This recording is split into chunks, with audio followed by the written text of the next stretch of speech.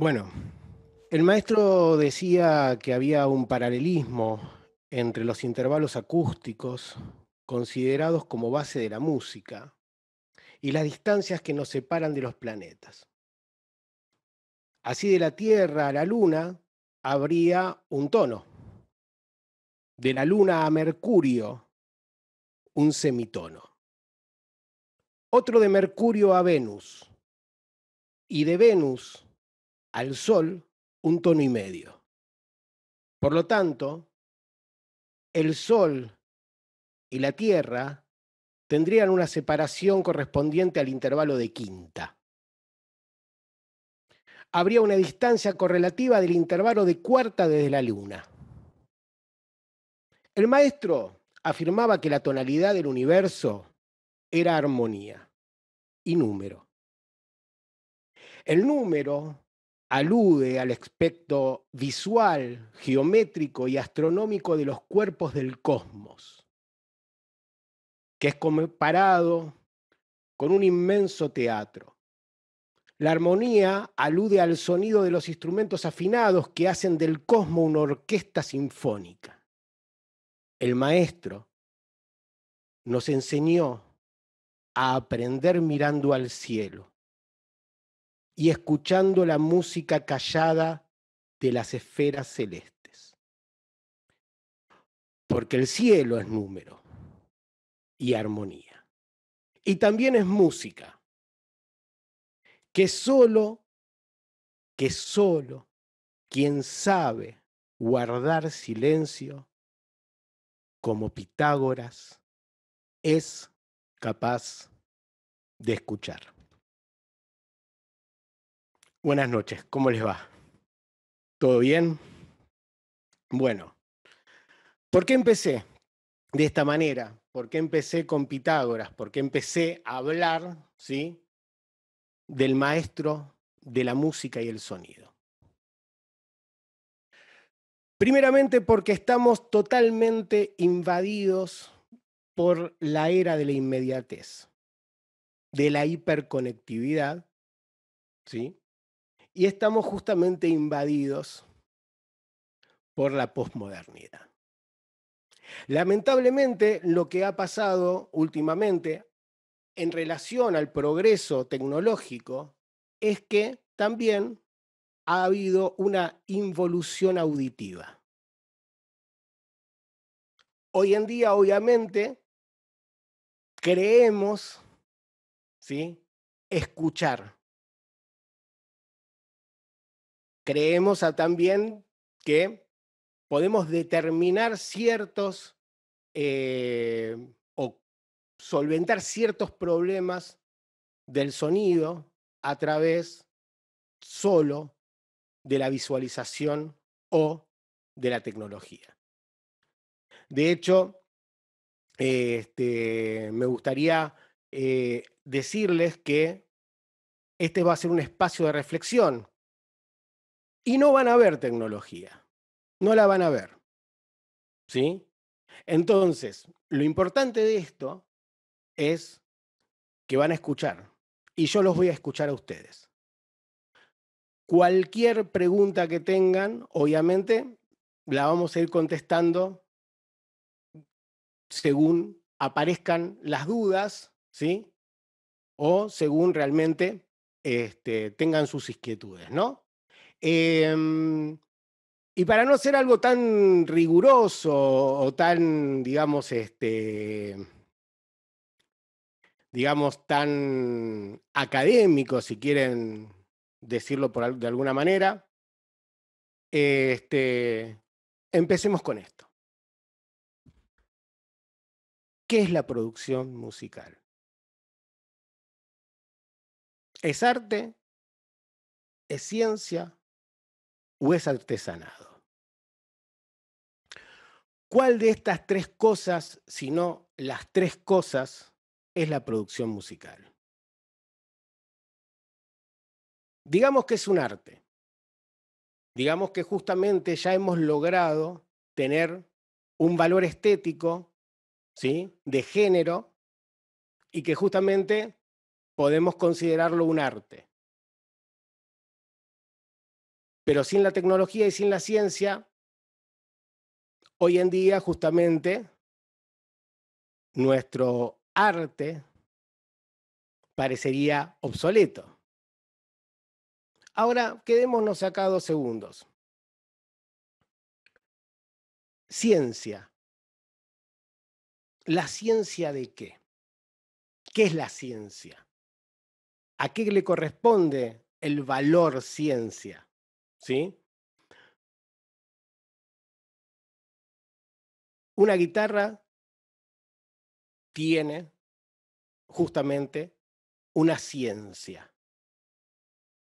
Sin entrar en cientificismos, tocar una guitarra obviamente depende no solo de un complejo ¿sí? de habilidades, sino de conocimientos, y ha evolucionado desde la vieja Arabia hasta hoy en día, ¿sí?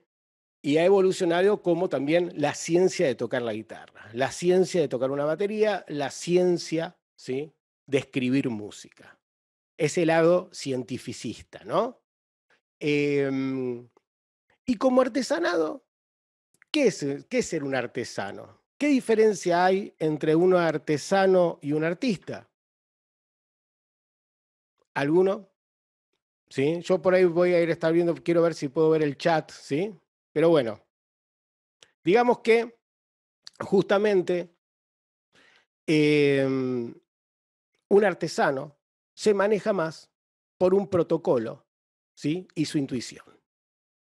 Lo que ha aprendido de sus maestros. ¿sí? Un artesano tiene la capacidad de justamente hacer artesanías. Pero la diferencia entre la artesanía y el arte es muy grande. ¿Sí? ¿Cuál es esa gran diferencia? Si también el artista tiene un, maestro, si también justamente un artista maneja la técnica y la tecnología del artesano, si también maneja la intuición.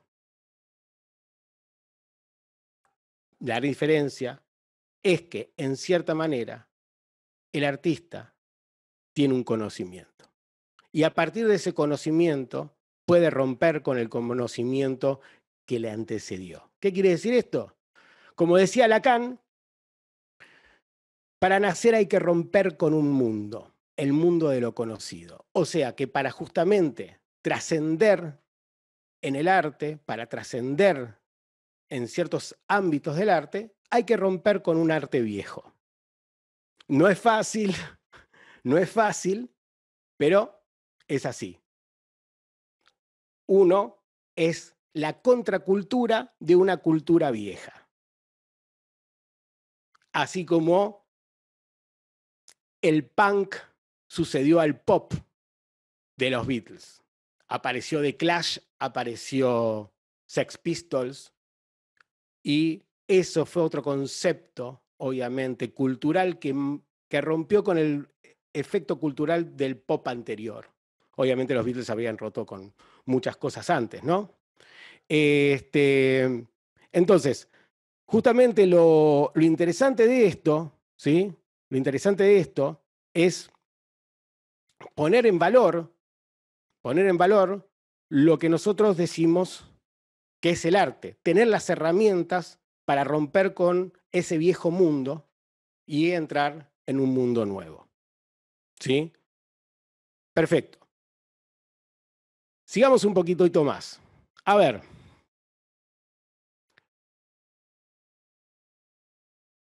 Este es un dicho que me gusta decir todo el tiempo. A una necesidad estética le deviene un recurso técnico o tecnológico. Digamos, ¿sí? ¿Qué es una necesidad estética? Es la búsqueda de qué? ¿Qué estamos buscando? Estamos buscando algo. Estamos buscando un sonido, como decía Spinetta. ¿Sí? Por todas partes voy buscando un parlante. Sí, señor, estoy buscando un parlante. ¿Cómo hago? ¿Con qué recursos técnicos o con qué recursos tecnológicos puedo llegar a esa proyección? Eso se llama direccionalidad estética. Miren, hay algo muy interesante.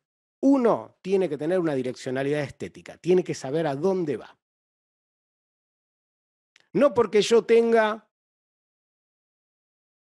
qué sé yo, un compresor 1176 lo voy a usar porque tengo un 1176. No porque justamente conozca una técnica de Bloomlane o una, una técnica estéreo surround la tenga que usar. Es decir, primero tengo que saber qué es lo que quiero. Y esto es muy importante porque obviamente parece una redundancia, obviamente lo deben haber escuchado, pero si uno no tiene una direccionalidad, una direccionalidad estética, se puede ver obviamente en problemas. Y a veces los problemas los origina uno mismo al no tener la capacidad de saber a dónde va. ¿Sí?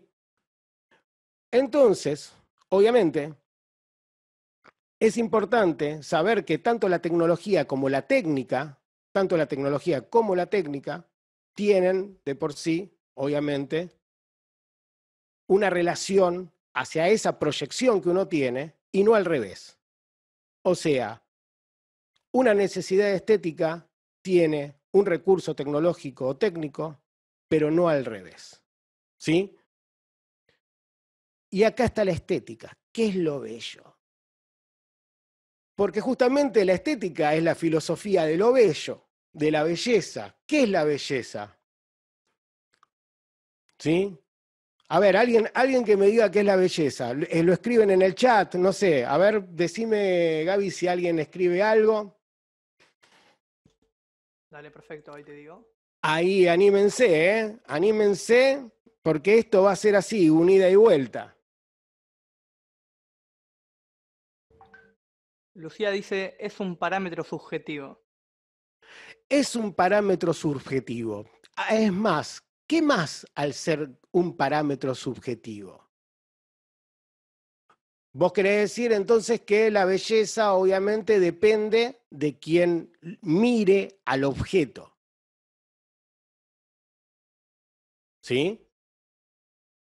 Entonces vamos a replicarlo de otra manera vamos a, mencionar que algo bello en realidad es algo que está fuera de lo común, sobresalta sobre lo común. ¿Sí? O sea, algo bello es algo que nos hace, nos llama la atención. ¿Sí?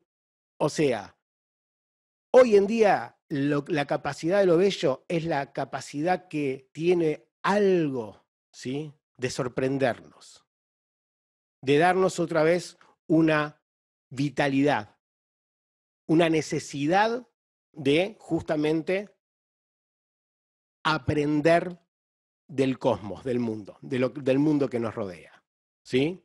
No es solamente algo subjetivo, porque subjetivo hay muchas cosas. Es más, Justamente ese término de lo bello subjetivo está roto por la sociedad de consumo. Ya hoy lo subjetivo no es subjetivo, sino es totalmente objetivo, comerciable, vendible y comprable. Y ahí estamos justamente en una dialéctica muy grande, ¿sí? O sea, ¿el gusto es nuestro? ¿Es nuestro gusto? ¿O es un gusto impuesto? ¿Quién pone los parámetros de la belleza? ¿Qué es lo bello? Estamos otra, vez condicionados en la misma era, la misma era de la inmediatez que nos da la tecnología, que accedemos rápidamente a todo, ¿sí? Así como tenemos esa tecnología, tenemos condicionados nuestros gustos sin que nosotros, sin que nosotros lo sepamos en realidad, obviamente. ¿sí?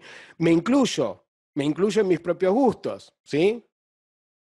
O sea, nadie escapa a esto. Lo que hay que saber es tener conciencia sobre esto cuando uno trabaja en la producción musical. Y se los voy a ir explicando de a poco. ¿sí? A ver.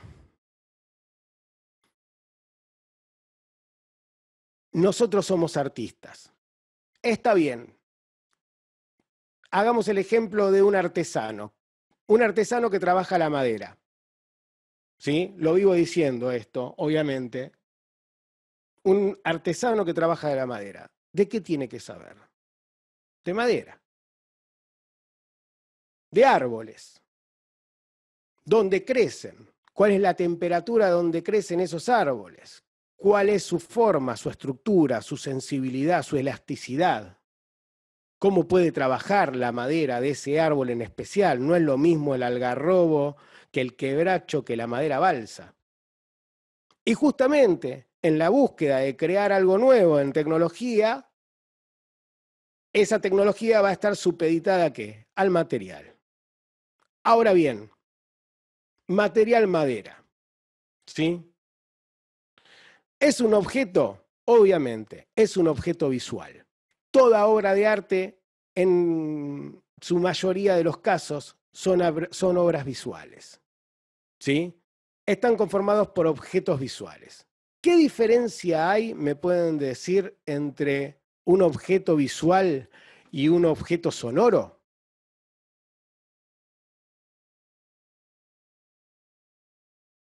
¿Alguien se anima ¿Qué diferencia? El sentido que lo capta. Una es esa. ¿Qué más? A ver. Está bueno, ¿eh? el sentido que lo capta está bien. El sentido de la audición.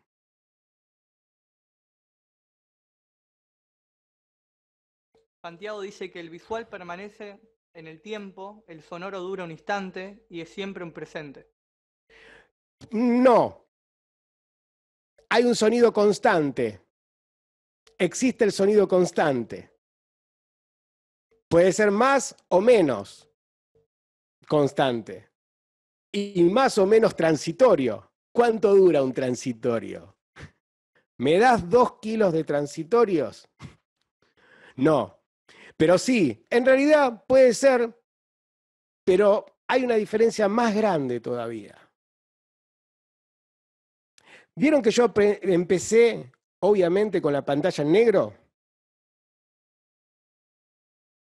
Si, la pantalla, si no hay luz, no hay objeto visual.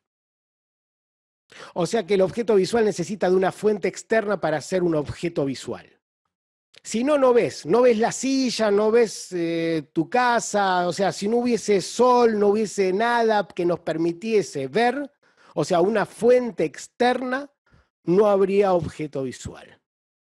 En cambio, el objeto sonoro es la fuente. El objeto sonoro en sí es la fuente. Lo que produce el sonido es ese objeto. De hecho, está buenísimo después cuando podemos entender que justamente el objeto sonoro, además, ¿sí? como alguien dijo, es a través de un sentido, los objetos visuales en general, ¿sí? los objetos visuales en general o las obras de arte visuales en general son tangibles. ¿Sí? Digamos, una obra de arte. Miren, esto no es una obra de arte, pero bueno, es lo que primero que tengo a mano. ¿Sí? Bien. Archery Bien. Lo puedo tocar lo puedo ver. Lo podría degustar, no lo haría ahora porque esto lo tocó mucha gente. Lo puedo oler, ¿sí? Lo puedo hacer resonar. O sea que el objeto visual o el objeto en sí, como materia, como material, ¿sí? En realidad es un objeto tangible. En cambio, nuestro material, que no es madera, que es sonido, no lo podemos ver, no lo podemos oler, no lo podemos desgustar, no lo podemos tocar, solo lo podemos oír. Y justamente ahí aparece una de las grandes, una de las grandes, digamos, eh, direcciones o una de las grandes este, formas de entender qué hace un productor musical. Un productor musical es aquel que convierte tangible lo intangible. Un productor musical le puede dar tangibilidad a los objetos. ¿Qué quiere decir esto? Que cuando yo voy a ver una obra de arte o cuando voy a ver una película o una fotografía, me invaden ciertas sensaciones que puedo aprender, que puedo aprender obviamente al objeto. Aprender significa la aprehensión de llevármelo a mi casa, de poder, de poder reconocerlo, ¿sí? Y de poder llevármelo a mi casa, de aprenderlo. ¿Cómo aprendo algo que no es tangible, que se me escapa de las manos? ¿Cómo hacemos eso? ¿Cómo podemos lograr hacer tangible lo intangible? ¿Sí? Y acá empezamos con justamente algo que es para mí muy interesante, que es veamos algo visual. Bien, quiero que se den un tiempo todos los que están aquí, ¿sí? Un tiempo todos los que están aquí en mirar la fotografía. ¿Sí? Les voy a dar dos minutos para seguir observándola. Lo que les pido es que me digan tres cualidades de la imagen. No, esperen, ¿eh? no de la técnica, ¿sí? sino qué sensación les da. ¿Bien?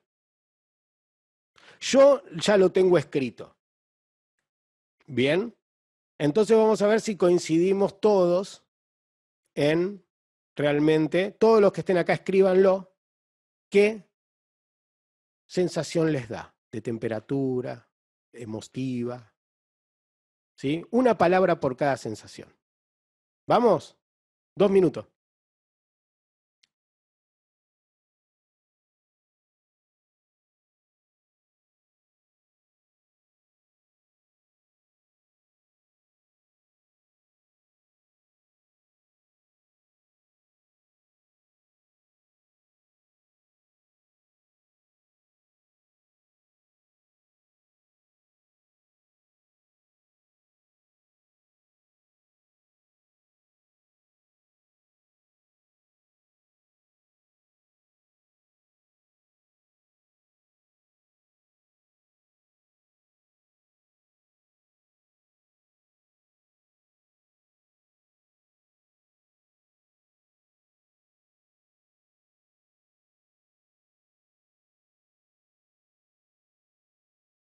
Bien, acá, acá estamos. Bueno, frío,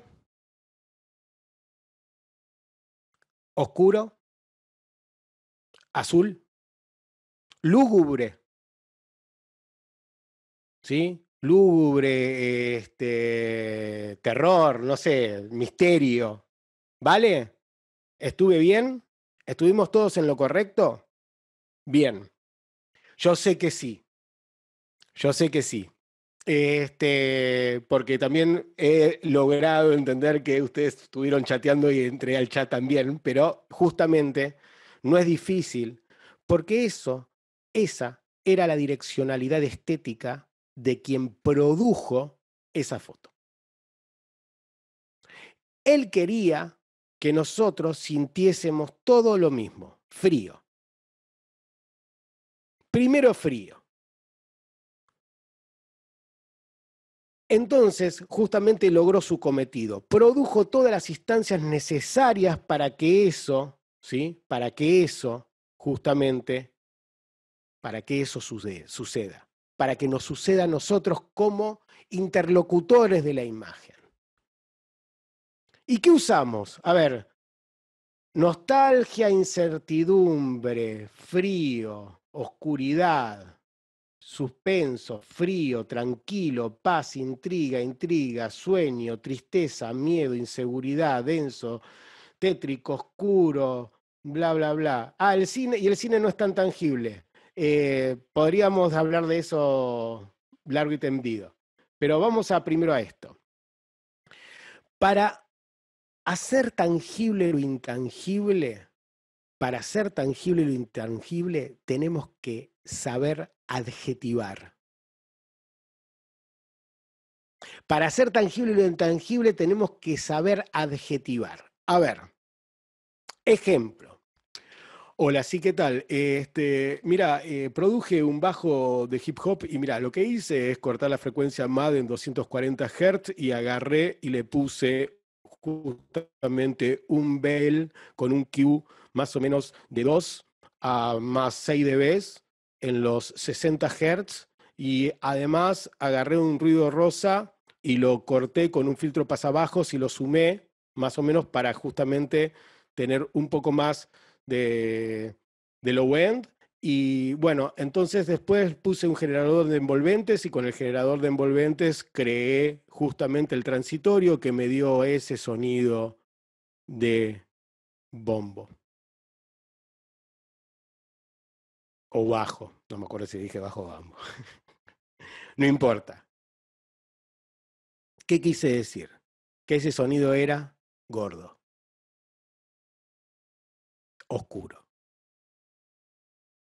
La gente no les va a interesar si vos cortaste 6 dB o subiste 12 dB en los highs, no le va a interesar qué utilizaste en tecnología, sino a la gente lo que le interesa es sentir que algo es gordo, filoso, agradable, oscuro, rápido, ¿sí?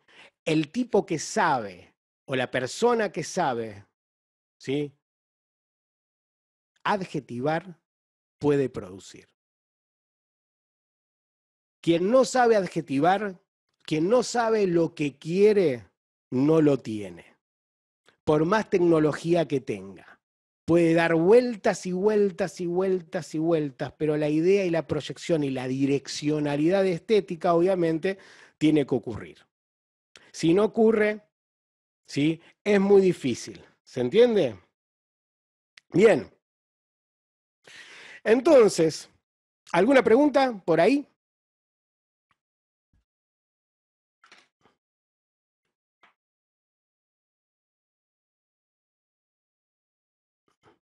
¿Alguna pregunta? ¿Ninguna?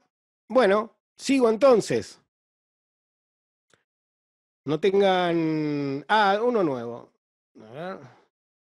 Los chicos dicen que... Siga nomás, siga nomás, gracias. Bueno, sigo nomás entonces. Hacer tangible lo intangible. Listo, perfecto. Y acá viene la cosa. Todos nosotros, todos nosotros hemos estudiado para justamente tener las herramientas técnicas y tecnológicas, y muchos de ustedes hoy en día están estudiando para tener estas herramientas técnicas y tecnológicas. ¿Sí?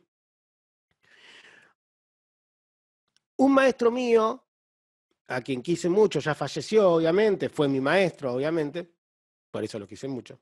También lo odié en algunos momentos de mi vida. Pero bueno, me dijo algo que era, que era muy interesante. No sé si a ustedes les pasó, no sé en qué años están ustedes de, de Tamaba, este, si están en los primeros o están todos mezclados, pero seguramente les pasó a todos los que están estudiando, los que han estudiado, obviamente, eh, lograr un afecto hacia el estudio y hacia los materiales y de, de repente tener una especie de sed ¿sí? como una sed de conocimientos y empezaron a leer y a estudiar y a estudiar y, tratar de saber más y de saber más y, conocer todo lo que uno pudiera este, acerca de la tecnología, acerca de la música, etcétera, etcétera, etcétera. ¿Sí? Existe en realidad una observación, ¿sí? Que justamente me generó una discusión con este maestro cuando hablábamos del conocimiento y del saber, que era lo siguiente, yo me di cuenta que eh, el alumno o la persona que tenía un conocimiento como exacerbado de las cosas, como mucho conocimiento, demasiado cientificista, ¿sí? Em, utilizaba más la memoria que la inteligencia. Utilizaba más la memoria que la inteligencia. El saber mucho, ¿sí?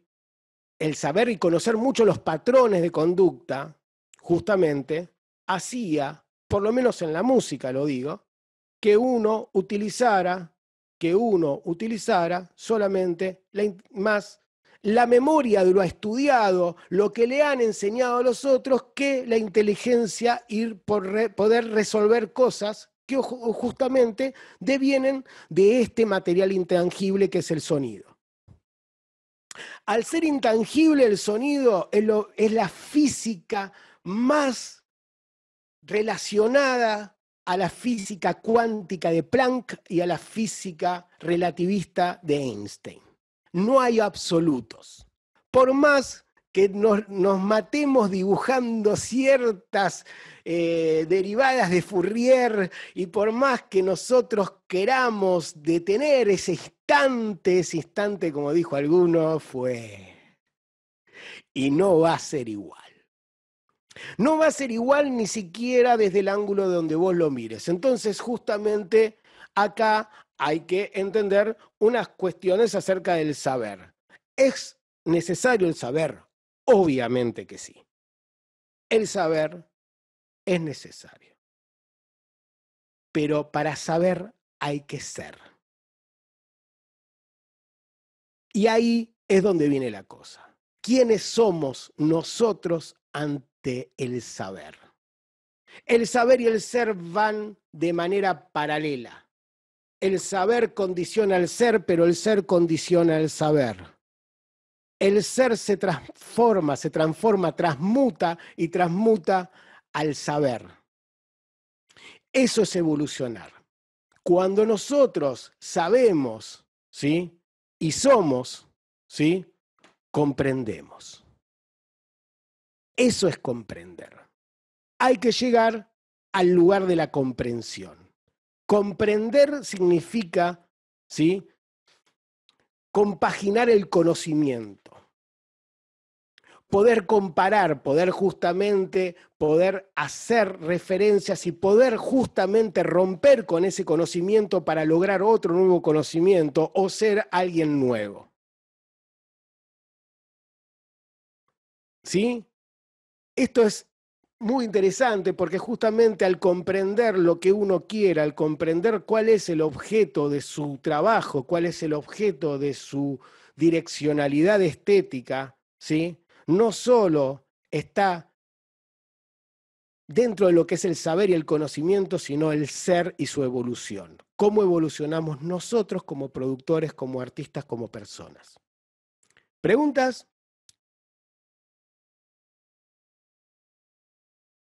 Miren que me encanta responder preguntas. ¿eh? Bien. Los dejé sin ganas de preguntar. Bueno, sigo entonces. Podría seguir hablando de esto dos horas, ¿sí? Bien. La producción musical es comprender. El productor musical tiene que comprender varias cosas, desde su conocimiento del saber y desde su ser. Primero, que tiene que convertir en algo tangible lo intangible. ¿Cómo lo hace? Adjetivando. Ya lo dijimos. Saber adjetivar. Lo quiero. Miren, una vez me pasó con el Piti Álvarez. Quería. Ahí está Leuchi. Ya Leuchi lo conoce muy bien la anécdota este, quería una guitarra roja. Quería que sonara rojo. Eh, lo quiero rojo, loco, lo quiero rojo. Y él quería algo rojo. ¿Sí? Justamente nos estábamos matando la cabeza de lo que el tipo estaba el re loco, quería algo rojo. ¿Sí? Y nosotros estábamos trabajando, obviamente, con un tipo que no sabíamos que era sinestésico buscamos el chart, no me acuerdo de la frecuencia, buscamos el chart más o menos correspondiente en frecuencia al color rojo, pusimos la frecuencia y dijo, rojo, eso es rojo. Imagínense cómo un tipo podía utilizar obviamente la adjetivación tan simple como un color para determinar una sensación o una frecuencia. Esa sensación determinó la frecuencia. Y quizás nosotros podríamos haber ido por cualquier otro lugar con un ecualizador, pero él quería eso. ¿Sí? Y el, que manda no es solo el artista, sino la música del artista. O sea que nosotros no tenemos tampoco, este, tenemos una cierta poder de decisión como productores, pero también hay que entender cuál es el gusto del artista. Y la inteligencia deviene otra vez. Hay que comprender cuál es el gusto individual del artista y cuál es el gusto colectivo donde está culturalmente insertado el artista nosotros tenemos que hacer una cosa, llevar el gusto colectivo de la sociedad al artista y, el gusto individual del artista al gusto colectivo. Si logramos eso como productores, somos buenos productores también. ¿Se entiende?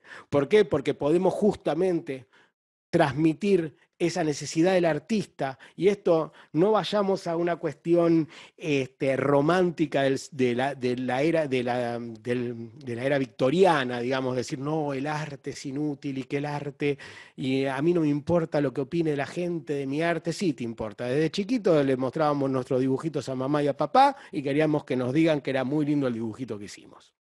Lo mismo nos pasa hoy en día siendo gente grande o gente que hacemos música queremos que la gente le guste lo que nosotros hacemos. No lo hacemos solamente para nosotros. menos hoy en día en esta era totalmente narcisista, este, que todos nos sacamos fotos en Instagram y hacemos todas esas cosas para que la gente nos vea y nos dé likes y le guste lo que nosotros hacemos. ¿Sí? Pero justamente dentro de lo que es el arte y la estética del arte en la producción musical hay que entender que hay culturas y contraculturas, como dije antes, y nosotros tenemos que entender a qué cultura corresponde la música que hace nuestro artista. ¿Sí?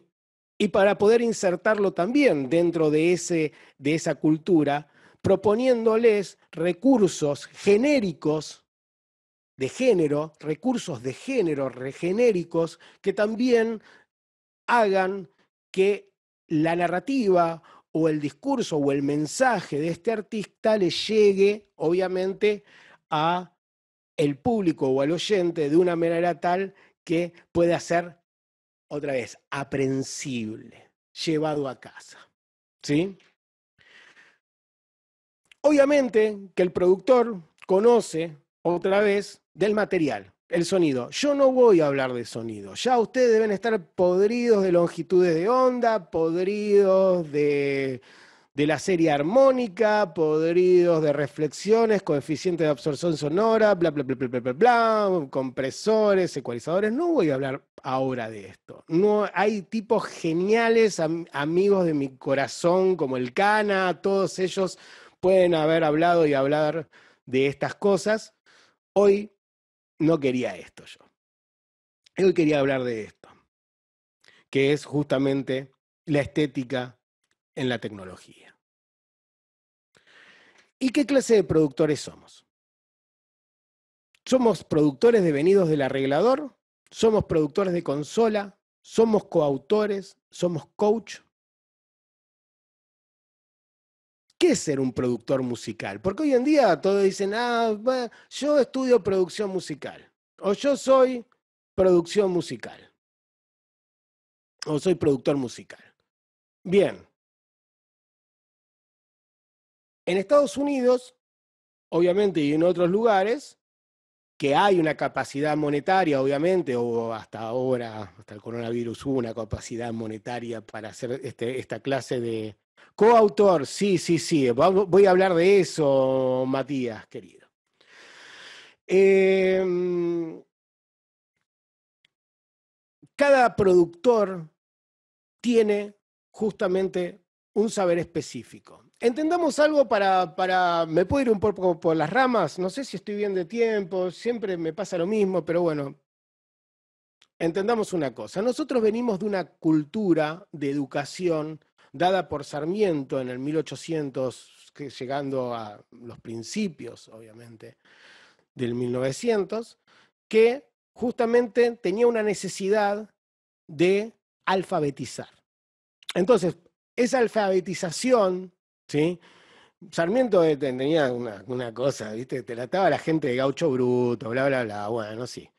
Lo que el tipo hizo, obviamente, es decir, agarró y dijo, bueno, al bruto hay que darle un poco de matemática, un poco de lengua, un poco de naturales, un poco de, de conocimientos que nosotros decimos justamente eh, cultura general. El argentino se basó en una educación durante muchos años que es la cultura general. Hagamos un ejemplo. Hola Jorge, ¿cómo andás? Hola, ¿qué tal? ¿Cómo andás? Che, bien, bien, bien. Yo no sé nada de autos. ¿eh? Che, ¿y qué, te, qué opinas de la carrera del TC que ganó Ford? Y Ford, oh, Ford, Chevrolet, Ford, Ford, Chevrolet. Se peleando, Ford y Chevrolet.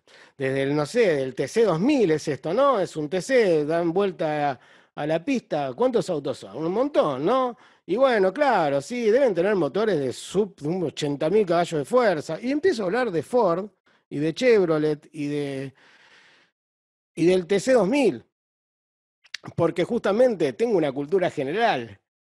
Y viste que hubo nado sincronizado, sí, nado sincronizado, cinco chicas con malla nadando, eh, haciendo cosas con música, perfecto, un ballet en el agua, ¿sí? Y empiezo a hablar de nado sincronizado. Obviamente, no tenemos lo que nosotros llamamos conocimiento específico, sino un conocimiento cultural general, ¿sí? Donde muchas veces, justamente gracias a estas instituciones como Tamaba o como otras instituciones, empezamos a ver lo que es el conocimiento específico. Cada profesor te da una especificidad de su materia y obviamente ¿sí? lográs en realidad, ¿sí? un conocimiento que sea justamente relacionado con algo que es potencial y, es útil a tu búsqueda. Entonces, digamos una cosa, este conocimiento específico ¿sí? existe en Estados Unidos, muchísimo. O sea, el ingeniero de grabación que se dedica a grabar instrumentos acústicos no graba bandas de rock ni que le pidas. El productor, ¿sí? Que es arreglador, trabaja como arreglador. Yo soy arreglador. ¿Qué hago? Trabajo con la banda en la preproducción. Y en la producción, obviamente, también, pero a mí lo que me interesa es producir y trabajar acerca de la música de esa banda. Ya vamos a hablar de eso. El productor de consola. El famoso productor de consola es el productor devenido del técnico de grabación, que tiene algunos conocimientos musicales, pero no le hables justamente de una segunda inversión, no le hables de justamente de contrapunto, no le hables de ciertas cosas que él no maneja, pero sí te puede ayudar justamente en lo tecnológico. Cada banda es un mundo, ¿sí? Hay bandas que no necesitan un arreglador, tienen ya los arreglos. Es más, eh, tengo acá en la sala alguno mayor de 40 años. ¿50? Pregunto. Hágase ver. ¿Algún profesor? 43, 44, vamos. Vamos Pedro, vamos Matías. Bueno, genial. Vamos a esa. Chicos, ustedes que son jóvenes, quizás no lo saben, pero grabar un disco en la década de los 80, yo tengo 50 años, ¿sí? No parezco, pero los tengo. Bien, perfecto. En la década de los 80, grabar un disco, obviamente, era un premio. Era ganarse un premio. El premio de, de grabar un disco, o vos te merecías grabar un disco, cuando ya estabas sólido en la escena musical. Digamos, ibas a Pridamí, o ibas a la cueva, o ibas a New York City, o ibas al Nacional y llenabas más o menos, cinema, muy bien, cinema también, grande Pedro, cinema, obviamente, y llenabas con, uff, Leuchi, me estás tirando una. Bueno, perfecto. Y llenabas locales con 200 personas cada vez que tocabas. O sea, eras una banda que era, que era comercialmente viable para que un sello con cierta cantidad de, de guita te pudiera pagar un disco. Ahora, ¿ustedes creen que esa banda que se ganaba eso había estado ensayando un año? Las bandas que ganaban ese privilegio por lo menos tenían tres años. Tres años tocando, ensayando, produciendo ellos mismos y arreglando ellos mismos sus temas. O sea, no necesitaban casi un productor musical, ¿sí? Necesitaban un productor de consola porque ellos no tenían idea. Acuérdense que la, primer, el la primera computadora musical en la Argentina con una MPU 401 eh, anoten MPU 401, búsquenlo, googleenlo, y una, una, placa de audio Turtle Beach con un Boyetra Orchestrator Plus, empezó en los 90. O sea que nosotros teníamos un atraso tecnológico de más o menos unos casi 10 años con respecto al resto del mundo. ¿Sí? O sea, no existía todavía el home studio. Los que podíamos tener un home studio en los 80 teníamos una porta estudio, una 424, cualquier tipo de, de porta estudio, y justamente la sincronizábamos vía SEMTI, después con una MPQ 401, con una computadora 386 con Windows 3.1. O sea que una cagada. Hacíamos lo que podíamos. ¿Sí? Pero bueno, la historia, obviamente, que el paradigma cambia con el home studio. Y ahí está el cambio de paradigma. La gente que hoy en día vos vas a producir, la gente que hoy en día vos vas a producir, quizás todavía está verde todavía ni siquiera ellos conocen lo que tienen entre manos. Y por ahí muchos tienen un material exquisito y muy rico y potencialmente musical. Lo que pasa es que están absorbidos por una eh, cultura que es la cultura del Ableton Live, le digo yo. Perdón, eh, soy usuario también del Ableton. ¿No se puede decir marcas, dicen acá? ¿Sí? ¿Se puede? Bueno, sí. Este, otro elemento o software relacionado con la era de la inmediatez. ¿Por qué? Porque pones un loop detrás del otro y pones un loop detrás del otro y después agarrás y le pones un compresor y bla, bla, bla, bla, bla, y vas creando, qué sé yo, y te hiciste una canción en un día y hiciste, wow, loco, qué bueno, esto está buenísimo, encima las flores están buenísimas también, entonces estoy re contento, me voy a dormir, mañana me levanto y voy a ser una estrella de rock. Al otro día, te levantás, escuchás el tema y decís, uh, no me gusta, estoy deprimido. ¿Por qué? Porque justamente has comprado, has comprado, ¿sí? El producto de lo rápido y fácil de la inmediatez. Y la música va a tiempos de Grecia antigua. La música tiene un proceso y no un procedimiento. Nosotros los productores musicales trabajamos a partir de procesos creativos y no de procedimientos. No hay nada protocolar, no hay protocolo. No es como el médico cirujano que te tiene que entrar por un lado porque si te entra por el otro te mata. Nosotros podemos entrar por cualquier lado. Denos un, alguien con problemas cardíacos y probamos entrarle por la espalda, ¿sí? Para probar qué ondi, ¿sí? En realidad, o sea, nosotros trabajamos con procesos creativos, que hay justamente ciertas técnicas en esos procesos creativos, eso no dice nada. Pero justamente, ¿quién balancea primero en una mezcla y después ecualiza y después comprime? ¿O quién lo hace al revés? ¿Qué sé yo? Depende de tu proceso creativo y de lo que vos estés buscando. Obvio, justamente a una necesidad estética le deviene un recurso técnico-tecnológico. Y nunca al revés. No existe tener la tecnología. Es como la tecnología que son fierros. Es como pedirte que claves un cuadro con un martillo. Este, no, al revés, miren, que tengas un, porque hablé rápido, ¿no? Que tengas un, un destornillador de oro y por qué de oro te pongas a clavar un clavo. Está bien, no vas a tener que clavar porque te salió mucha guita. Pero bueno, con un, con un martillo un martillo de dos pesos. ¿Sabes cómo lo clavás? Perfecto lo clavas el clavo.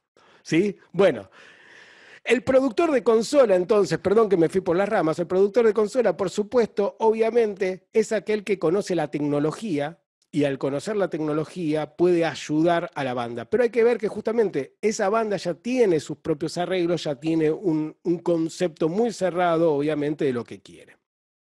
Voy al coautor, el productor coautor. Acá hay una asociación que se llama ATIA, ¿sí? Este, yo soy miembro de la asociación. Tiene una búsqueda muy interesante. Esta búsqueda es que justamente sea valorado el trabajo de los técnicos y productores de música en los royalties, en las ganancias de royalties de justamente los artistas. ¿Lo saben eso? Bien. Si no lo saben, yo lo dije. Bueno, a ver, ¿Cuántas veces les va a pasar a ustedes en su vida profesional, los que son, van a ser productores de música, que le digan, ah, che, Jorge, no me tocas una, ya que vos te gustan los síntesis y tenés muchos y qué sé yo, ¿por qué no nos tocas una, una cosa con tu Rhodes? ¿Querés tocar algo con el Rhodes, con el Minimoog? ¿Cuánto? ¿Cuánto? ¿Cuánto vale? ¿Sí? ¿Cuánto, cuánto vale tu trabajo? ¿Sí? Yo te pido un yo te lo pido seguido. Si, aquí hay alguien que yo produzco, obviamente me lo pide seguido. Pero esperen, esperen, esperen. Acá hay algo que es importante. ¿Sí? Yo voy a seguir. Voy a seguir. Como si no, no tuviese esto acá. ¿Sí? Escrito en el chat. En realidad, uno se transformaría en un coautor. En cualquier lugar del mundo pones una nota y yo sos coautor de una obra musical. Recomendaste un arreglo musical, obviamente sos coautor. ¿Sí? ¿Realmente pasa eso? Ah, bueno, sí, existe. ¿Sí? Respondo esa palabra, ¿sí? Me, respondí la, la pregunta de lo de coautor. Sí, existe el productor coautor. Digamos que es el productor que se mete en los justamente en la música del artista y recomienda quizás hasta cambiar una frase o cambiar justamente un arreglo o cambiar ciertas cosas.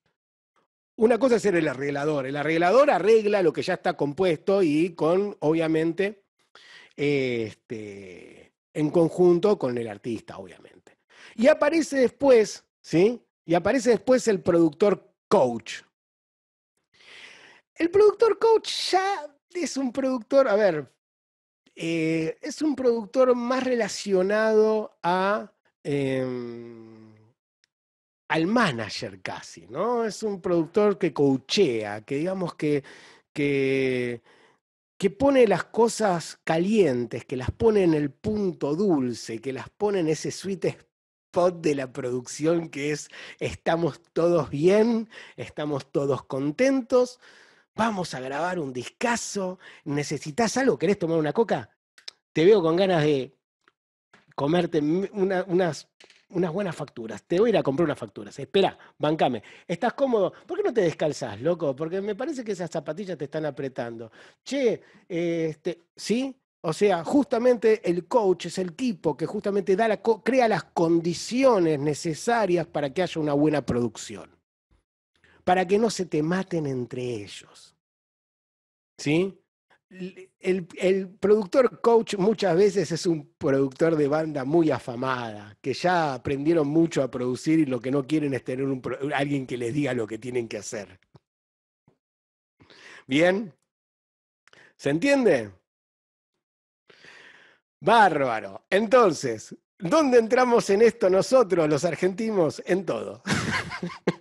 somos arregladores, somos productores de consolas, somos coautores y somos coach, porque vivimos una realidad totalmente diferente y tenemos que estar justamente a la altura de las circunstancias que nosotros tenemos socioeconómicas y culturales. Es un problema ético. Tenés que romperte el alma, tenés que romperte el alma y conocer de arreglos, tenés que conocer de tecnología, tenés que conocer de justamente de psicología y tenés que elaborar una bocha para sacar algo bueno. Porque si el embrio le dicen los yankees. Si el embrio existe, si el embrión existe, si la semilla musical está, está, hay música. Si hay una canción, hay producción. ¿Sí? Y ahí es donde es lo, más interesante de todo. O sea que si hay una canción, hay producción. Ahí estás vos, cumpliendo diferentes funciones. ¿sí? apoyando a los músicos, ayudando justamente a, que tengan un sonido, a, a, darles una idea de arreglos. ¿sí? Bien. Y ahí vienen los recursos, la preproducción. ¿Sí? ¿Cuáles son los recursos que tenemos? Vamos, quiero ver ese chat rápido, avanzando con una, una rapidez gigante. Vos avísame, Gaby, eh, si no estoy medio al horno ya. ¿eh? Jorge, estamos perfectos. Bien, perfecto. Entonces quiero ver ese chat diciéndome, lenguaje musical, sí, reuniones, sí. Esos no son recursos. Vamos, recursos. ¿Cuáles son nuestros recursos? Internet, vamos, otro. Maquetas, otro. Maquetas, otro. Bien, vamos a hablar de los recursos.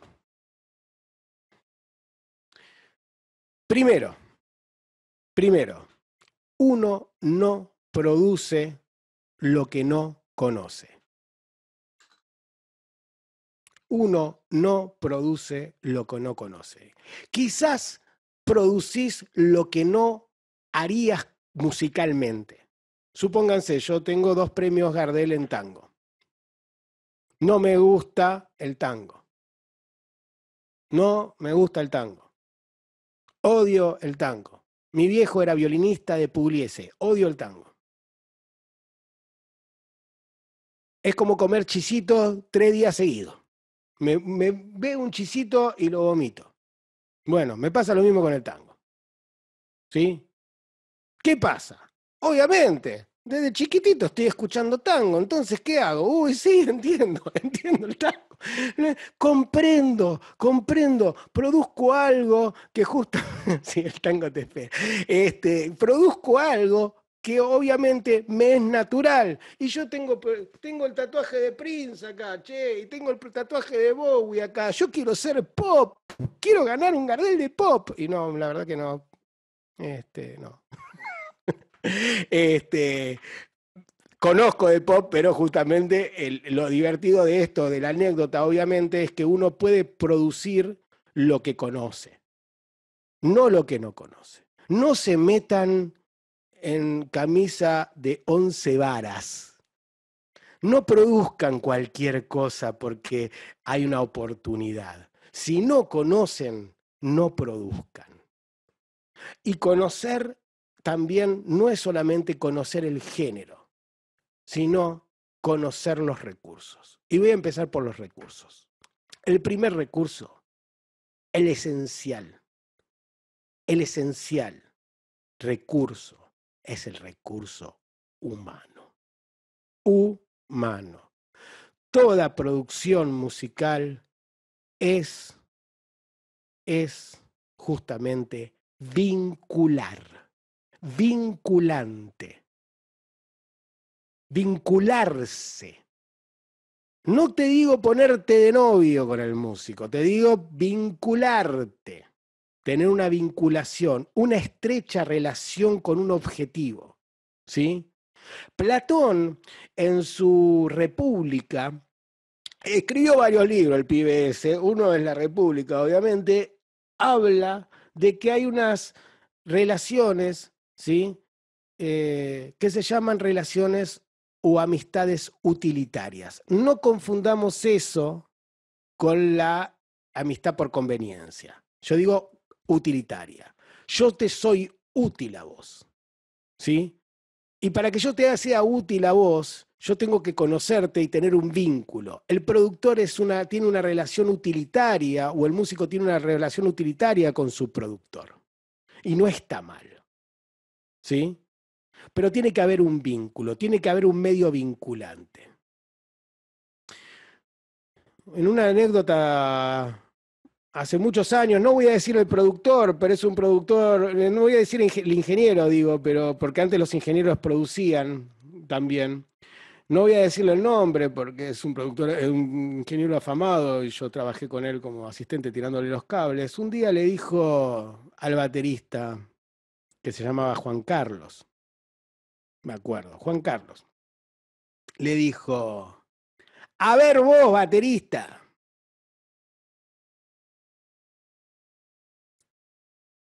En el momento que vos le digas a alguien guitarrista o baterista, despedite de tu profesión no entendiste nada. No entendiste nada. Lo primero que tenés que saber es el nombre de tus músicos. Yo fui maestro de escuela de escuela primaria, de cuarto grado. Se nota, ¿no? Se nota porque no paro de hablar. Bien, perfecto. Fui maestro de cuarto grado, muchos años, ¿sí? Este, la educación, obviamente, a mí siempre me, me, encantó y me encantó enseñar y por eso pasé por muchísimas instituciones hasta que me dediqué al ámbito privado personal. ¿Sí? Pero lo que, lo que sí he aprendido por una maestra mía que era, se llamaba, la materia se llamaba organización escolar, era que vos, cuando entrabas por primera vez a un grado y tomabas lista, lo primero que tenías que hacer era empezar a fijar la cara, cara con nombre, cara con nombre, cara con nombre. ¿Y qué, qué hacías? De repente en el mismo día que tomaste lista, otra vez agarraba la lista de los alumnos y preguntabas cualquier cosa y decías, ay, Mariela, qué lindo, Mariela Gutiérrez. ¿Cómo andás, Mariela Gutiérrez? Bien, sí, sí. ¿Qué hiciste hoy en tu casa? Y comí con papá y hice, no. ah, qué bueno, María, eh, Mariela Gutiérrez, muy lindo. A ver, ¿y vos, Felipe P. González? ¿Qué hiciste hoy? A mí no me importaba como que solamente que habían hecho hoy, sino acordarme de los nombres tenías 40 nombres para aprenderte y lo tenés que aprender en, menos de una semana, porque si no, justamente alguien pierde, alguien pierde entidad. Miren, es muy fácil. No sé cuántos bajistas hay acá, pero hay una cosa que yo tengo más de 30 años de profesión. Les puedo decir que mayormente los bajistas son los más em, introspectivos en las bandas, más o menos. ¿sí? hay una gran cantidad de introspectivos. Digamos que las bandas, obviamente, este, hay líderes y hay gente que acompaña a esos líderes, ¿sí? Y bueno, suele suceder. Ahora, conocer el nombre de un, como bajista te lo puedo confirmar. Bien, perfecto. Entonces estoy bastante bien. Bueno, eh, lo que digo es lo siguiente.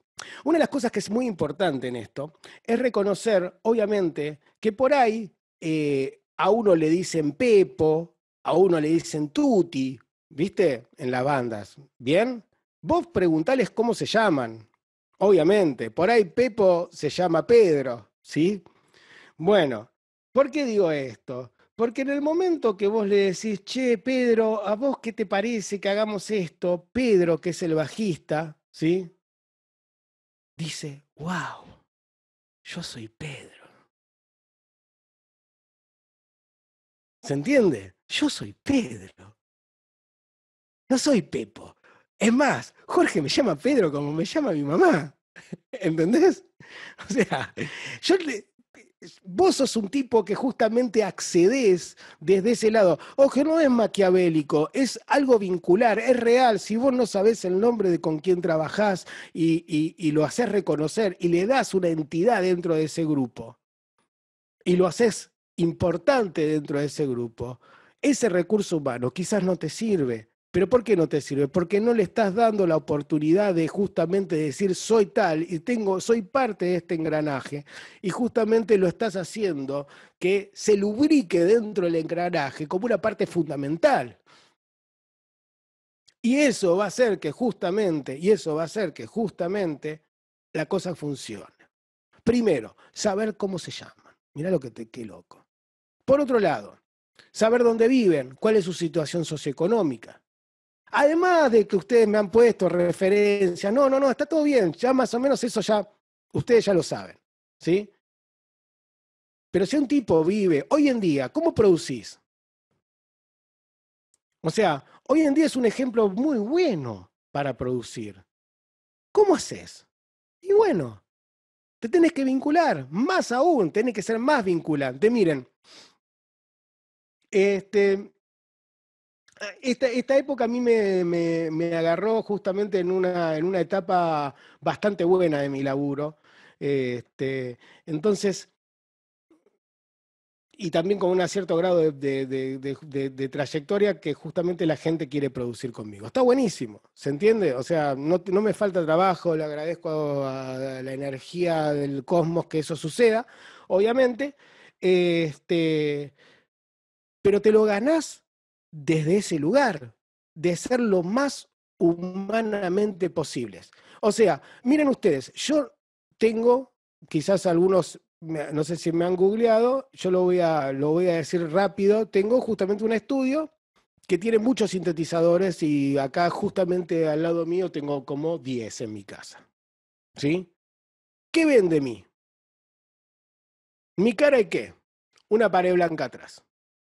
¿Vale? Quizás se ve un poquito una TR-707 por ahí, pero nada más, ahí está, no se ve nada. No quiero que se vea nada. ¿A qué voy con esto? El productor, primero, es un ser humano.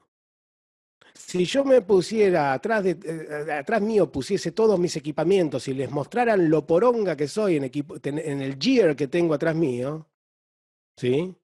Lo que estoy haciendo es poniéndome en un lugar inalcanzable.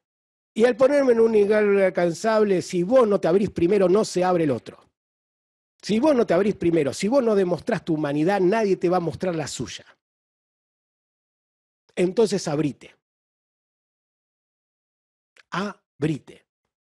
Invítalos a tomar una cerveza. Anda de visitante. Ahora no se puede, está bien. No se puede ni la cerveza ni lo de visitante. Pero cumplí la función del visitante. Sos el que visita. Sos justamente un tipo que, si se abre, vas a tener la información necesaria de cada uno. Yo he tenido, en medio de una producción, el fallecimiento de la madre de alguien que tocaba. He tenido la ruptura matrimonial de otro. He tenido justamente problemas este, de, qué sé yo, de alguna cantante embarazada que justamente el marido parece que la cuerneaba. Y que uno, ¿saben todas las cosas que he visto dentro de las producciones y cómo uno justamente tiene que trabajar con eso? Y entender que justamente tu humanidad va a ser que eso quizás lleve a un buen término pero tenés que poder manejar esta cuestión de justamente de tu humanidad, de tu relación con el recurso, que es humano. ¿Sí? El recurso humano. Cosa, palabra fea, parece empresarial, pero es, un, pero es el justamente, si no hay, el, el músico es lo más importante, es el conducto por donde va a salir toda esa música. Por otro lado, hay otros recursos. ¿Sí? Me fui al carajo con esto, paso de largo. ¿Sí? Si tienen alguna pregunta, me lo van poniendo y después hacemos un set de preguntas. ¿Bien? Este, mm, otro de los recursos son los recursos justamente materiales. ¿Sí? Y justamente en el recurso humano, obvio, hay uno más que me, habí- me había olvidado. ¿Quiénes son los que van a participar además de la banda como recurso? Si vas a tener un asistente de producción que te lleve las notas de lo que vos decís en los ensayos, si vas a tener justamente este, un ingeniero a cargo, quién va a ser justamente el, de- quién va a ser justamente el asistente de ese ingeniero, si lo vas a hacer vos o quién va a ser tu asistente. Esas cosas más o menos tenés que tenerla clara y tenés que tener claro que la gente que vos elijas se lleve muy bien con justamente la música que vayan a producir. ¿Bien? Hasta ahí para, para no olvidarme de eso que es importante. Este, el recurso justamente del material técnico o tecnológico. ¿Sí? A ver, esto va a depender justamente de la direccionalidad estética. Ustedes lo que tienen que ver justamente cuáles son los recursos que tiene la banda en sí. ¿Sí? Te va a poder, vas a encontrarte con muchas cosas vas a tener que encontrar, te vas a encontrar con muchas cosas. El gran porcentaje del éxito de una producción es, en- para así decirlo, eh, digamos, responsabilidad, no me gusta decir responsabilidad, pero más o menos es una palabra que puede llegar a caber, del músico y su instrumento. Y te va a pasar que tengas músicos buenísimos con instrumentos malísimos, porque la mayoría de la gente grosa no tiene plata. Vas a encontrar gente con mucha guita tocando re mal y haciendo sonar una guitarra pésima, una guitarra de 3 mil dólares haciéndola sonar de 3 pesos. Te vas a encontrar con toda esa fauna, una fauna muy grande. ¿sí? Entonces, vos lo que tenés que hacer es, entender justamente cuál es el recurso también técnico, qué es lo que tiene el músico en sí, qué es lo que tiene, qué batería tiene, ¿sí? ¿Qué batería tiene, qué bajo tiene, qué, qué, tocan habitualmente? Acá vienen muchas preguntas que siempre me hacen, y bueno, Jorge, pero si vos estás produciendo una banda y qué sé yo, en la preproducción, ¿qué, qué, y si no te gusta la guitarra que tiene el tipo, y bueno, conseguís otra, pero justamente esa guitarra la tiene que retocar, y no le podés mandar, no, nunca hagan esto de alquilarle una guitarra a un músico el día de la grabación, porque es como hacerle andar en una moto nueva. Yo que ando en moto sé que cuando te subís a una moto nueva te podés pegar un palo si no la anduviste de una semana, por lo menos. ¿sí? Entonces, bueno, es, es eso, ¿sí? Es entender cuáles son los recursos técnicos que tienen, tecnológicos que tienen los, los músicos. Y después sus recursos técnicos. Y en el recurso técnico entendamos que no estoy hablando de la técnica de la tecnología, sino de la técnica de cómo abordan el instrumento. Sabe agarrar los palos, sabe agarrar una púa. Tenés mucho poder de observación, tenés que observar muchísimas cosas que suceden en un ensayo en la preproducción. ¿Sí? Las preguntas, obviamente, son un montón las que se le hace a un músico en, las charlas de preproducción. Pareces un agente de la CIA, casi. ¿sí? Porque tenés que conocer todo.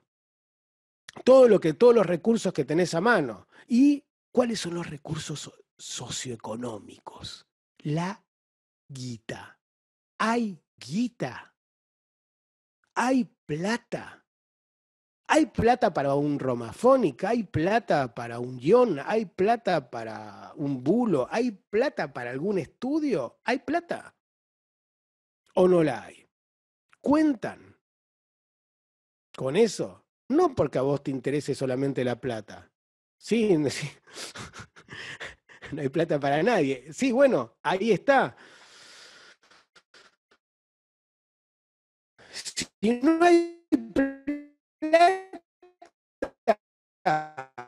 no creo que puedas hacer mucha con una dirección estética. Entonces tenés que buscar recursos vos como productor y hacerles a ellos mover para que consigan las cosas, ¿sí? Hay muchas cosas que van a necesitar. ¿Bien? Bueno. Em, seguramente me estoy, olvidando de cosas. Quiero apurármelo. no es que me quiera ir a comer, les digo, pero es como que ya me pasé lo, que ya me dijeron, entonces voy a seguir un poquitito más. Tenés una canción, podés producir. Listo. ¿Qué trabajás en la preproducción? La estructura la tenés que... Ah, esperen, esperen. Stop. Chequear, decirles esto porque es muy importante. Stop. Cuando vos vas y escuchás una maqueta, no escuches maquetas. Eh, me acuerdo porque alguien puso maqueta, maqueta, maqueta. No, no, maqueta no, la maqueta miente. La maqueta miente, te la editaron, loco, te la editaron, te chopearon todo, la pusieron prolijito y te lo enviaron. Caíste en la trampa. No seas Gil, anda al ensayo y entendé cómo es la banda. La maqueta no. Eh, te paso la maqueta, sí, seguramente la tocó todo, lo lupió todo y lo tiró ahí. ¿sí? Escucha y conoce. Acordate de lo que te digo, conoce que es lo que uno tiene que conocer lo que va a producir otra vez. Conocelo. Bien, genial. Este, entonces, una vez que vos conocés, hay que ver qué cosas tiene que tener la banda. ¿Sí? Antes, cuando tenés una canción. Primero, todos tienen que conocer la canción. ¿Bien? Y todos tienen que conocer, si, si es posible, lo máximo, lo que hace el otro conocer los arreglos del otro, qué es lo que toca el otro. Es importantísimo que cada uno cada engranaje de la banda no solo sea reconocido por su nombre, sino es reconocido por lo que hace. Entonces, lo que hace es importante y reconocer dónde están justamente, eso es tu laburo, dónde están el valor y dónde está la falla de cada uno para ayudarlo, ¿sí? Y dónde están esas cosas. Bien, a ver, ejemplo, baterista. Ustedes saben que la. ¿Qué consejo nos das cuando la banda a preproducir no es buena musicalmente, pero quieren ser más grande que los Rolling Stones?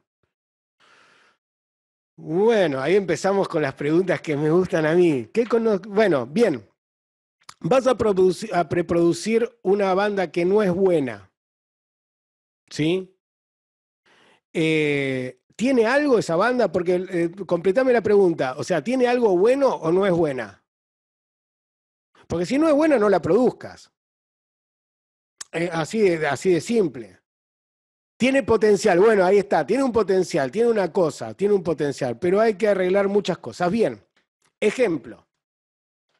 Emi, suponete que vos sos parte de esa banda que se cree los Rolling Stones, para decirte así. Entonces yo te estoy hablando a vos, Emi, y te digo, che, Emi, qué bueno, che, este, ¿sabés que cuando tocaron esta canción hay algo que no entendí? Vos no entendés. Él sí entiende, vos no entendés. Entonces vos le decís, mirá, Emi, hay algo que no entendí. ¿Sí? No entendí. Eh, ¿Me lo puedes tocar de vuelta a ver si lo puedo, lo puedo entender? Todo el tipo lo toca de vuelta. ¿Sí? Muchas veces, muchas veces, los errores o cosas que tiene la banda los va solucionando, pero el que no entiende sos vos. ¿Para qué? Para que ellos escuchan. Ah, ¿sabes qué lo sigo sin entender? A ver si toca Pedro con Juan, el baterista y el bajista. Ah, creo que ahí está. Ah, yo creo que ahí está. Sí, sí, sí, sí. No, no es una táctica, Lucía, Lucía, es una forma de justamente. Pero ¿por qué lo digo esto? Porque un productor no es un crítico musical, no tiene, no tiene nada de crítico musical. Los críticos musicales a las revistas, a la indie pop, ¿sí? O sea, el productor musical no es un crítico, no, no, no valora, no hace esas valoraciones críticas, no critica, propone. ¿Sí? Es un tipo que suma, que propone. Entonces, si vos vas a ser productor musical, vas a proponer, no vas a criticar. ¿Sí? vas a justamente a proponer instancias. Entonces, con Emi estábamos en esto, que yo le, digo, che, no escuché bien, ¿viste? Entonces, este, podés tocar vos con vos, vos con vos. Ah, bueno. Cuando sabés cuál, vos ya sabés cuál es el problema. Está el problema, X, ¿sí? Están fuera de tiempo, suponete. O, peor de todo, peor, cuando le tenés que hacer cambiar al tipo de tonalidad porque el cantante está cantando tan fuera de registro, que no genera los armónicos necesarios que hacen que esa voz sea transparente y que ese Neumann funcione, ¿sí? Porque no lo vas a poder grabar con nada. Bien, suponete, ese es uno de los graves problemas cuando justamente la de cambiar tonalidad, ¿sí? Eh, sí, Facundo, pero hay que hacerlo central. Bueno, ¿cómo le haces entender eso? Por Dios. Bueno, bien, es un trabajo muy bueno, es un trabajo muy bueno agarrar y entender una cosa. Ningún productor musical no sabe los temas. Yo cuando voy a producir una banda, sé tocar los temas. Me cuelgo la guitarra y los toco. Los 12, los 7 temas me los tengo que saber de memoria, los tengo que tocar de arriba a abajo tengo que poder sentarme a un piano o a una guitarra con lo que toque y justamente tocar el tema de ellos. Sos el primer fan. Ya ellos te contrataron, o sea, eh, ¿cómo se entender eso? Porque justamente vos no solo sos el primer fan que sabe tocar todos los temas de ellos, sino que también te pusiste a la altura de lo humano. Pero es como si vos fueras el CEO de una empresa. El CEO de una empresa, ¿qué hace? Justamente maneja la empresa, pero no es el dueño. El dueño, si quiere, le pega una patada en el culo. Chao, ¡puf! Se fue el CEO y pasa otro. O sea, sos una persona con una valoración justamente ponés manejar a la banda, pero sos un empleado de la banda y siempre tenés que ponerte en el lugar del empleado. ¿Sí? Eso te va mucho ayudar en el tome de decisiones. Pero espera, en la tonalidad en sí, yo habitualmente, ¿sabes lo que hago? Es justamente cuando veo que el cantante está apretado, ¿sí? Me lo gano al cantante y ¿sabes lo que hago? le toco la misma canción dos tonos abajo. Y el cantante dice, wow, ay, loco, qué bien, qué bien que me siento, qué sé yo, ya te ganaste el cantante. El cantante va a ser un aliado tuyo que va a hacer que todos los demás cambien y le haces entender al otro desde la escucha, porque justamente el tema es que le escucha el otro desde afuera, como vos lo estás escuchando desde afuera. Por eso es muy, es muy bueno que vos aprendas los temas de memoria y los puedas tocar sin que seas un prodigio ningún instrumento, pero sí que puedas tocar los temas y que los puedas cantar para que ellos lo escuchen desde afuera también al tema tanto en su estructura, en su tempo, eh, estas cosas que yo puse acá, que bueno, no sé si vamos a llegar a tiempo. Pero bueno, no importa. A ver, otra cosa es, terminen las propuestas con la pregunta. ¿Saben cuál es la pregunta? ¿Sabe cuál es la pregunta esencial, fundamental de un productor?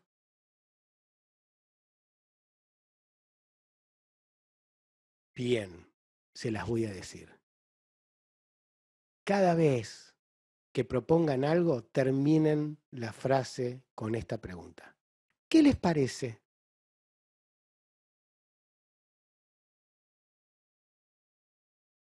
¿Qué les parece? ¿Qué te parece? Cuando vos cerrás esa pregunta, cerrás con la pregunta ¿qué te parece? Estás justamente dándole ¿sí? pie a que ellos te digan que sí. O un casi sí. Y, bueno, probemos, listo, ya está, bueno, probemos, ahí está, aprovechá y poné, la quinta y acelerá, porque es tu oportunidad. El qué te parece es vincular en la decisión a los otros, ¿sí? Ya cuando alguien, ¿qué te parece? Son dos de tres de una banda y bueno, ya sos el tercero, sos vos. O sea, ya estás en el empate. Entonces podés, podés ganar, podés ganar. ¿Sí? Bien. Eh, bueno, nada, cuando uno tiene una canción, tiene que conocer, obviamente, tocarla de pe a pa, conocer su estructura, conocer si justamente no está desbalanceada esa estructura, pensar que iba a hablar de Ramón, iba a hablar de un montón de cosas, bien, no importa. El tempo. ¿Está un tempo adecuado? ¿Sí? ¿Está un tempo adecuado? Bien, sí, está muy acelerado, muy. Ojo, ojo que los tempos, que el tempo parece una gilada, pero bajar 2 BPM a algo puede hacerlo grubear mejor. Entiendan una cuestión, la mecánica. Esto es la mecánica, o esto es la mecánica. O sea, lo que físicamente hace un músico es su mecánica. Bien, entonces quizás 2 BPM para abajo hacen que el tipo esté más holgado, o 2 BPM para arriba para que el tipo se ponga un poco tight, un poco más apretado, ¿sí? Y eso hace que justamente el tema cambie un montonazo y el groove cambie un montonazo, ¿sí? Bien, métrica y pulso. Acuérdense esta diferencia. Una cosa es el justamente eh, el métrica, pulso, y acá voy a poner una cosa más, ¿sí? Métrica, pulso y compás. Bien, me faltó compás poner, soy un, un gil. Bien, iba a decir una mala palabra, perdón. Este, el pulso es una constante, ustedes ya lo saben. Ahora, cuando ustedes acentúan bien el pulso, tienen groove. El groove es la buena acentuación, ¿sí? del pulso. ¿sí? No, métrica no es compás. No, señor. Métrica no es compás. Voy a explicarlo ahora. Compás es 4x4, 5x8, 6x8, 3x4. ¿Bien? Perfecto. Bien, es algo que yo anoto en un papel para tener justamente una sensación. Ahora, es lo mismo acentuar, ¿sí? Justamente, miren, a ver, ¿quiénes, cuántos son músicos acá? Es un, dos, tres, cua, un, dos, tres, cua, un, dos, tres, cua, un, dos, tres, cua. Eso es un 4x4, bien, lo escribiste en una hoja. Bien, 4x4. Ahora, si yo hago un, dos, tres, cuatro, dos, tres, cuatro, dos, tres, tan, tan, tan, tan, te, tan, tan, ¿sí? O hago una síncopa, ¿sí? O adelanto una nota, pongo un silencio de corchea y acentúa la de arriba y justo hago una síncopa, creo quizás otra cosa, ¿sí? Es decir, métrica es la sensación rítmica que puede generar un compás. Puede estar escrito muy fácil, ¿sí? ¿Para qué? Porque si vos, vos lo cumplís, vos a un músico no le podés escribir complicado para que toque. Tiene que tocar simple. ¿Sí? Entonces, a veces la métrica no es lo mismo, es saber entender que la métrica es donde uno pone los acentos dentro del compás, para que tenga groove. ¿Sí? ¿Se entendió lo del groove? La buena acentuación del pulso. ¿Sí? Genial. Entonces, justamente una cosa es lo que vos escribís en el pentagrama y otra cosa es cómo querés que suene ese pulso. ¿Sí? Bien, dinámica. bien, dinámica. Cada parte de la estructura de un tema en general tiene su dinámica. ¿sí? Ustedes calculen más o menos que eh, la introducción de un tema, la A, la B, volvés a la A', volvés a B', haces un C y terminás con un otro. No importa, entendés la estructura del tema. Bueno, cada parte de la estructura de un tema, o sea, cada parte de una estructura del tema tiene un rango dinámico, tiene una dinámica. Y la dinámica la podés generar de diferentes maneras. Hay una dinámica que es puramente armónica, o sea, cuántos armónicos generás, ¿sí?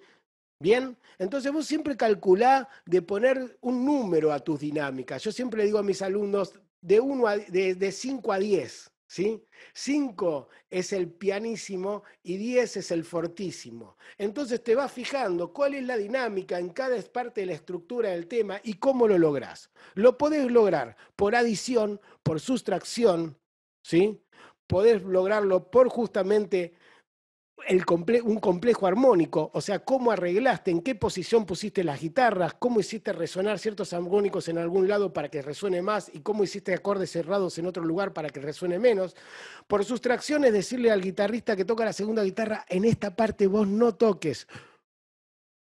¿No? ¿Y qué hago mientras? Nada, no toques. Y entonces el tipo dice, ¿y qué voy a hacer en vivo? Y tirate al piso. No sé, prendele fuego a la guitarra, pero no toques. ¿Sí? En el disco no importa lo que hagas, si no estás, no estás, no toques, ¿sí? Entonces, eh, sí, Fede, vos la evidenciaste esa, ¿no? Este, entonces, justamente, eh, justamente uno tiene que decirle, esta, una parte es el business, justamente, entonces, tu entonces la estructura o disposición de las texturas aporta a la dinámica. Entonces, ¿la estructura o disposición de las texturas aporta a la dinámica? Sí, sí, Facundo, sí. O sea, acuérdense algo, muchas cosas. También la compresión y la, la o sea, la compresión y la descompresión del ritmo. Una cosa cuando vos tocas ritmos muy lentos y cosas cuando tocas ritmos subdivididos a valores de, de semicorcheas, generás más armónicos también. ¿Sí? O menos armónicos o más armónicos, hay una compresión, hay, hay, muchos ejercicios que uno tiene que lograr para que haya diferente rango dinámico, ¿sí? A ver, acuérdense de Fletcher, el Batman y Robin de la acústica, Fletcher y Munson, loco, a ver, acuérdense las curvas de estos tipos y sus fones, ¿Sí? ¿Qué se acuerdan? Acuérdense que además de eso, ellos lograron entender que la gente que justamente cuando escuchan formas de onda complejas con, con armónicos interesantes, escuchan también que suena más fuerte. ¿sí?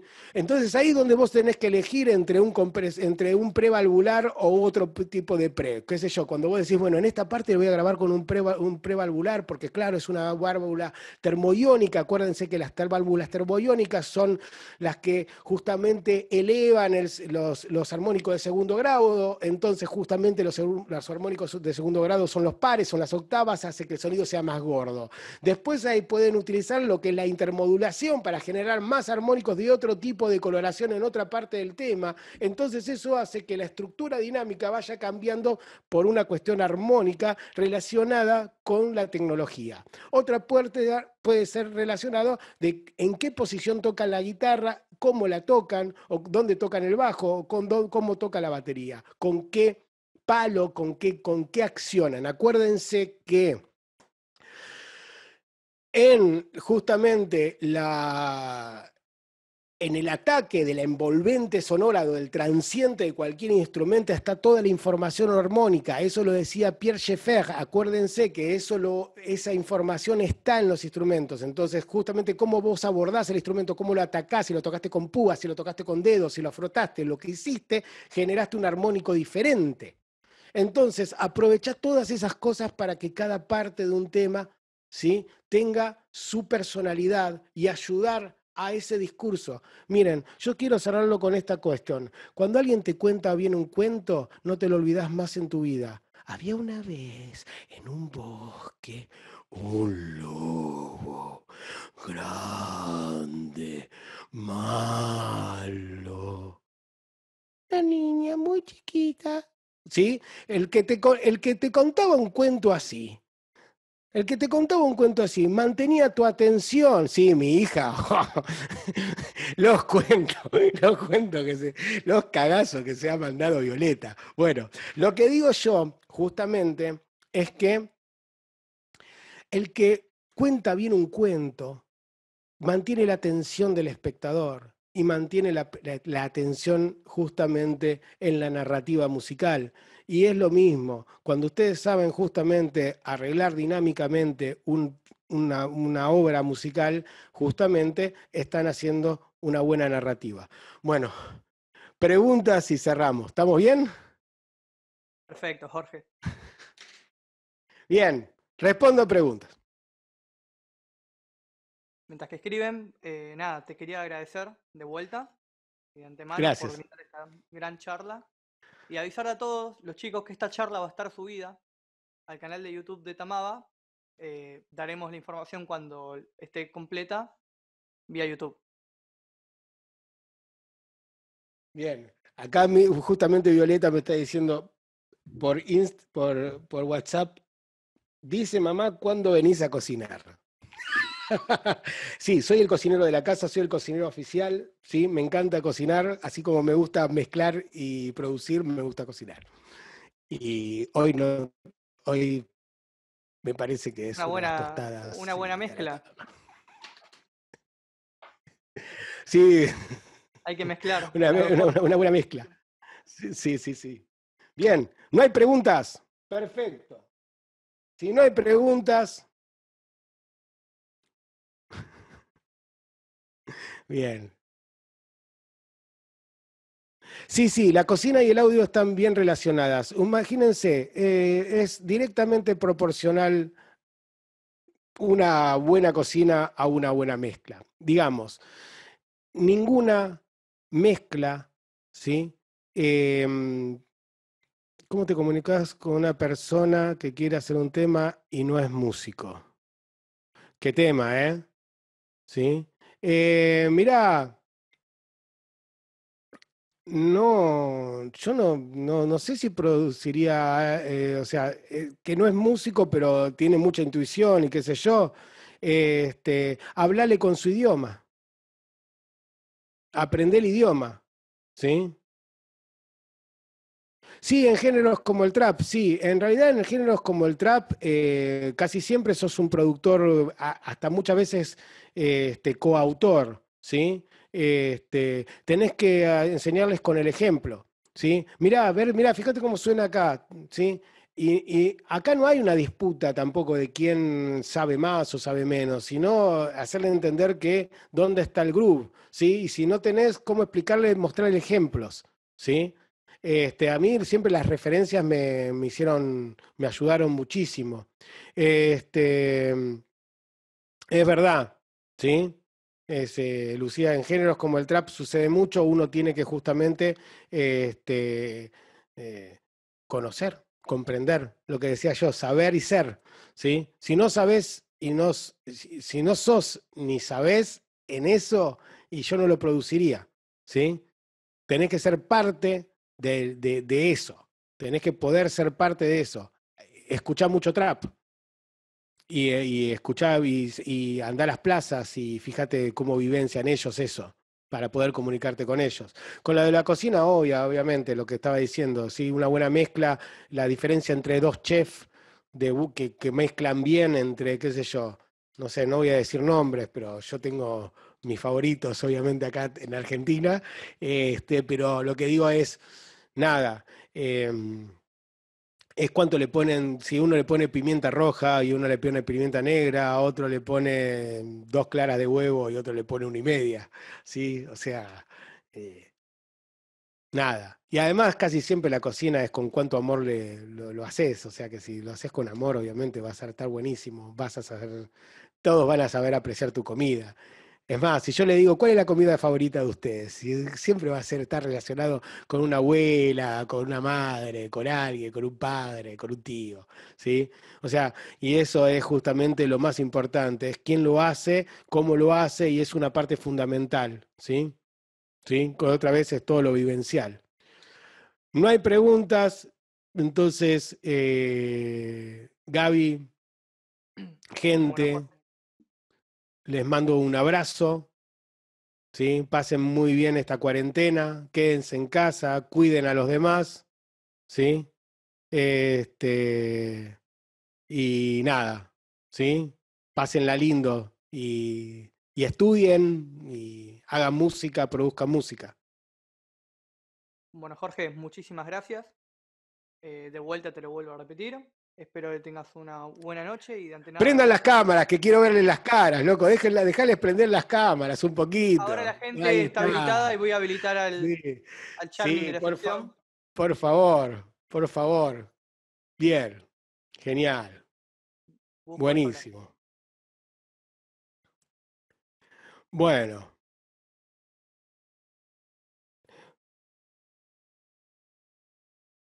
Un grosso.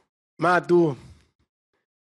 Gustavo, gracias, gracias Teo, gracias Matías, gracias Facundo.